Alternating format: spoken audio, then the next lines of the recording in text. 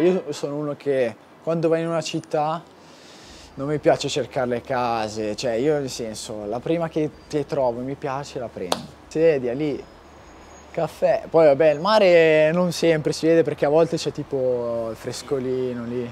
Allora vabbè giocare al mare, giocare al mare, però io sincero in quella nebbia che c'è lassù, cioè ti si abitui alla fine, cioè non è... È casa. Bravo. Quando vedi la neve dici... "Ah". Poi vabbè qui, cioè, adesso c'è un clima fantastico, cioè chiamo i miei genitori, sono lì tutti così, escono al mattino, c'hanno... Adesso mia mamma non esce più perché è zona rossa tutto di qua. Eh, però vabbè, infatti quando richiamo dico, eh no, qui ci sono 15 gradi, fa, eh, beato te, stai lì. E fa, eh, mi vuoi stare qui apposta? Un amico di mio papà faceva l'allenatore della mia annata, perché mh, prima io non, eh, cioè, non sarei mai andato a giocare a calcio, perché c'era, diciamo, non avevo stimoli, capito? Allora da lì ho iniziato, ma poi ho fatto talmente altri tanti sport insieme al calcio.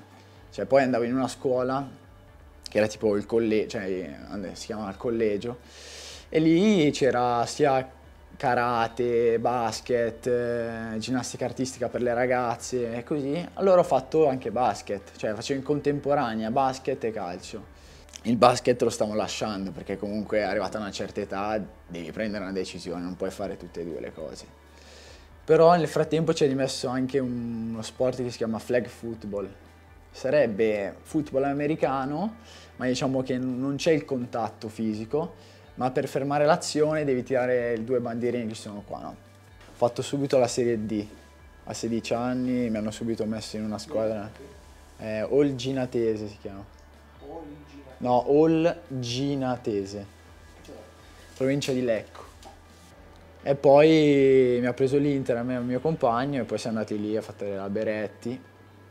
E, cioè era tra Beretti e Primavera, però mi allenavo in Primavera, però giocavo sempre in Beretti.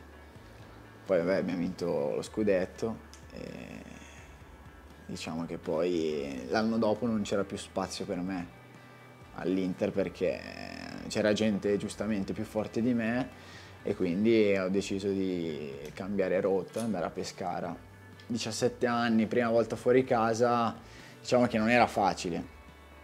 Però vabbè, se volevo intraprendere questo lavoro qua, prima o poi bisognava prendere una decisione infatti con la mia famiglia, poi con la mia ragazza, che tutte e due le figure, sia la ragazza che la famiglia, e mi davano l'ok, diciamo. Ogni due settimane andavo a casa, perché mio papà quando giocava a pescare in casa mi portava sempre a casa e poi il lunedì tornavo per la scuola perché il direttore del pescare, del settore giovanile, voleva che i giorni di scuola non, non ne saltavamo neanche uno.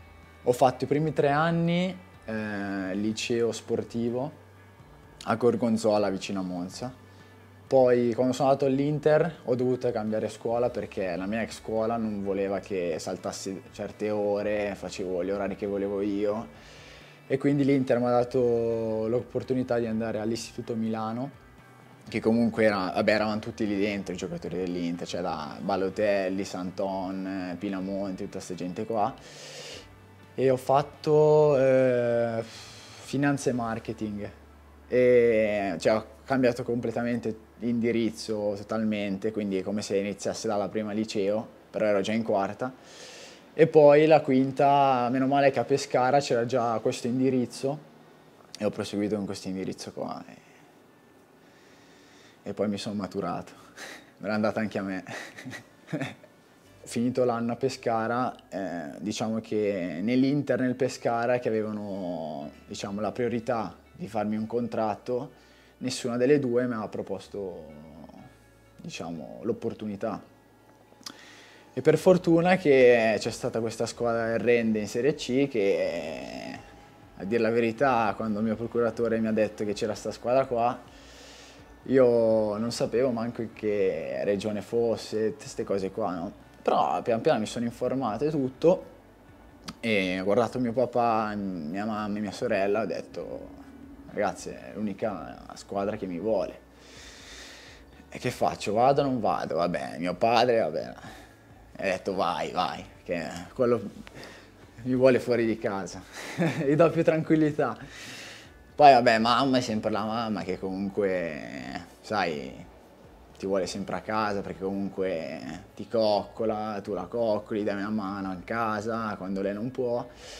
E la sorella anche lei diciamo spingeva perché mi voleva fuori dai maroni anche lei. No?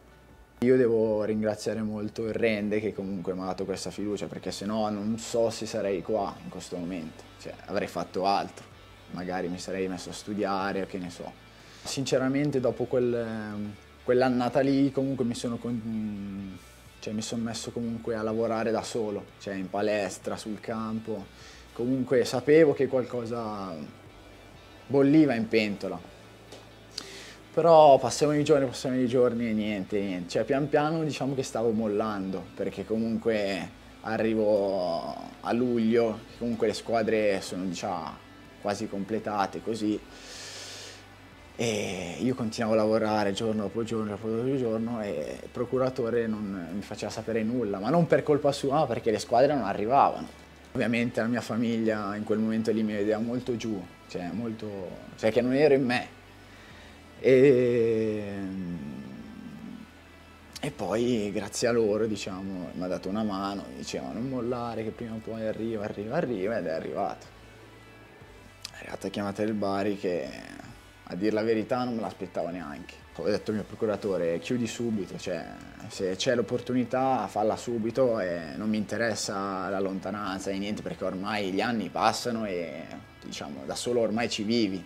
La trattativa sarà durata un giorno, due giorni neanche, eh, perché poi la Juve era favorevole a questa cosa qua, cioè, non è che mi teneva lì a fare niente, era favorevole e sono venuto qua. Mi hanno accolto veramente come se fossi uno di loro da subito, eh. cioè, ovviamente con qualche batoste perché fa parte del gioco. E poi anche tanti consigli soprattutto da Valerio e anche Alessio Sabbione. E comunque sono gente che diciamo i consigli proprio li aspetti a braccia aperte cioè con le orecchie belle spalancate. Perché comunque loro hanno già fatto tante di quelle partite o campionati vinti che te devi ancora iniziare, cioè sei un pischello diciamo. Ho fatto allenamento quel giorno lì che era un mercoledì, adesso non mi ricordo la data precisa, che io dovevo andare a una cena con Semenzato, no?